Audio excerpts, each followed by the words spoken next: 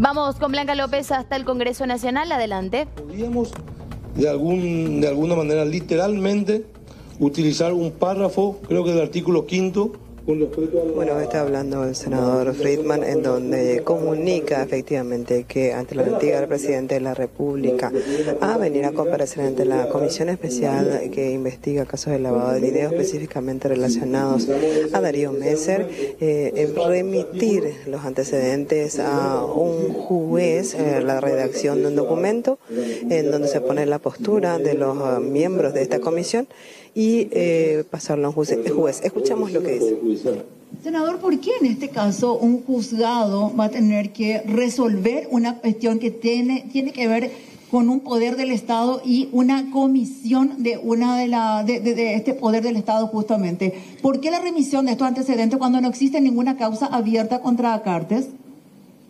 Porque los congresistas, diputados y senadores en el año 92 promulgaron esta ley y así está expresamente literado dentro. Por eso justamente, ustedes son un, poder del Estado independiente, pueden tomar sus decisiones propias. ¿Por qué ahora un juez va a tener que determinar la decisión que ustedes están tomando? Porque las decisiones de un cuerpo legislativo se llevan adelante en base al reglamento, en base a la Constitución y en base a las leyes.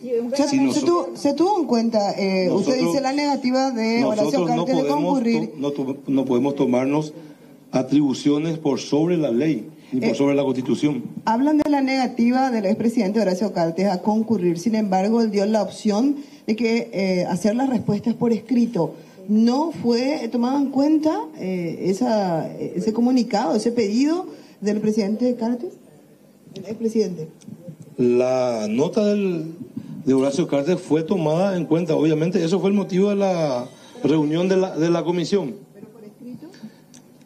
Él argumenta una condición de senador vitalicio con todas las garantías que tiene esa envergadura. Nosotros no podemos tomarnos la atribución de validar de alguna manera una posición que está siendo discutida hace 25 años en el país. Ese es el problema. No de que no le queremos enviar o no enviar. Estamos hablando de, que, esa, eh, esa remisión de preguntas estaría convalidando algo que está en duda hace muchísimo tiempo. ¿Qué queda finalmente? ¿Se le va a tomar, digamos, la, posibilidad de que él mande su descargo por escrito?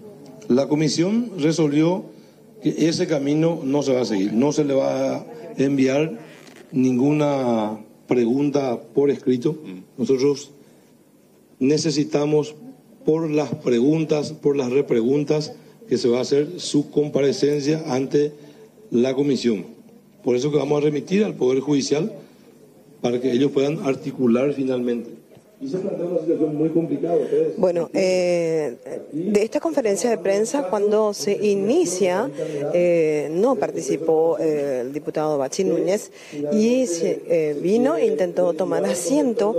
no tenía lugar en esa mesa que fue preparada por la gente de comunicación social de la Cámara Alta.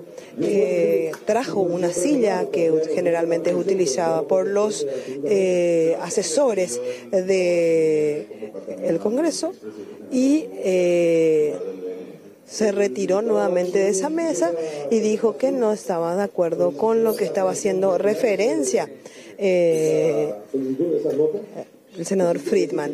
Y ahora vamos a escuchar relación al pedido. Y después retiró. O sea, queda sin efecto entonces la convocatoria. Y queda sin efecto. No, no la convocatoria queda sin efecto la posibilidad de estudiar la convocatoria solicitada por el diputado Bachinúñez. Eh, ¿Mencionó él por qué lo retiraba? La verdad que no, no, entendí mucho por qué retiró. No, no. Va, a volver a redactar y va... Es como que va, va, a volver a redactar y va a volver a presentar el lunes, dijo. No, eh, no dio muchas explicaciones. ¿Están al tanto ustedes que a través de un, del Twitter el, senador Fernando Lugo eh, manifestó su disposición a concurrir cuando lo, lo, convoquen? Totalmente lo ratificó el colega Jorge Querey, la buena predisposición del presidente Fernando Lugo si la comisión eh, decidiera y amerite una convocatoria, lo haría con mucho gusto, como corresponde ante la comisión bicameral. ¿Cuándo se vuelven a reunir, senador? El día lunes están fijadas seis comparecencias, eh, vamos a dar enseguida el listado, y eh, interín de esas comparecencias al mediodía vamos a volver a, reunirnos porque existe un planteamiento que quedó en un, en, en un cuarto intermedio, digamos, en una nueva presentación el día lunes con respecto a la remisión del resumen de la CEPRELAT al Ministerio Público. Yo voy a presentar el día lunes dentro de la comisión el pedido formal para que se reenvíe al Ministerio Público parte del informe final. Ustedes entenderán que el informe final va a demorar todavía un tiempo importante. Hoy, en mi calidad de ciudadano, de senador y de miembro de la comisión, obran documentos que hacen mención específica a una adulteración de documentos públicos. Esto estoy obligado como, como ciudadano y como senador a denunciar. Pero por un respeto a la comisión, a los colegas, vamos a hacer todas las la copias, la documentación para que ellos también esto se pueda acceder y vamos a presentar una, un preinforme que será aprobado o rechazado por la comisión el día lunes para su remisión al Ministerio Público como corresponde. ¿Van a ser públicos, senador, eso, ese documento para que nosotros podamos acceder también?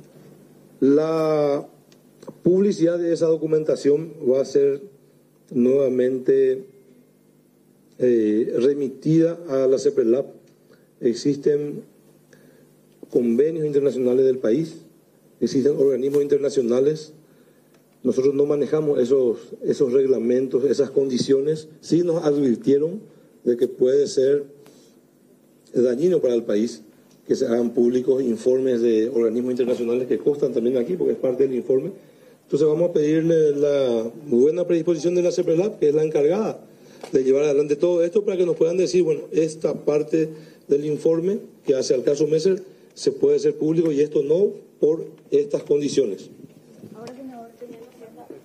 Bueno, eh, es lo que está haciendo referencia el senador Friedman en relación a la postura de la comisión, que se ha tenido posturas encontradas, eh, efectivamente, pero que de acuerdo a lo que está manifestando, no se puede tener en cuenta el pedido del envío por escrito al expresidente de la República de las preguntas, porque él mismo se acoge a su calidad de senador vitalicio y ellos alegan que el expresidente de la República, Horacio Cartes, no es un senador vitalicio porque no es juramentado. Y eh, se ha decidido enviar los antecedentes de la negativa del expresidente de la República a comparecer ante esta comisión. Eh, para que un juez, de acuerdo a la ley que reglamenta a la creación de las comisiones de investigación, exactamente la ley 137, eh, para que un juez competente eh, investigue sobre eh, la negativa del expresidente de eh, concurrir ante esta comisión permanente para hablar sobre nexos de Horacio Cartes y eh, Darío Messer en el caso de lavado de dinero en el capítulo que concierne a Paraguay. Así también ya anuncian que van a elaborar un documento eh, de la comisión que va a ser tenido puesto a consideración de todos los miembros para que sea aprobado y remitido a el Ministerio Público en relación a dos informes presentados por la CEPRELAT. Uno en el que incluye Ah, supuestamente en el caso Messer Chay, específicamente eh, al expresidente de la República Horacio Cartes y otro que fue presentado 15 minutos después en donde ya no era incluido el expresidente de la República en ese informe de CEPRELAT.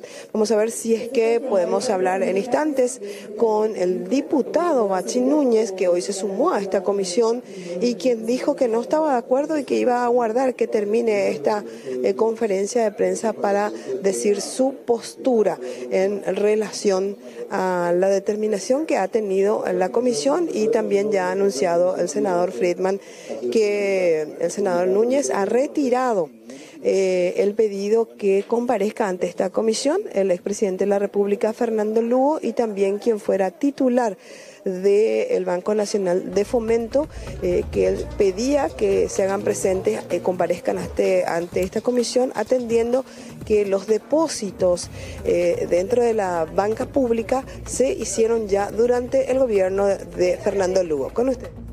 Bueno, Blanca, muchas gracias. Estamos atentos a lo que ocurre entonces ahí en el Congreso Nacional. Es momento de refrescar.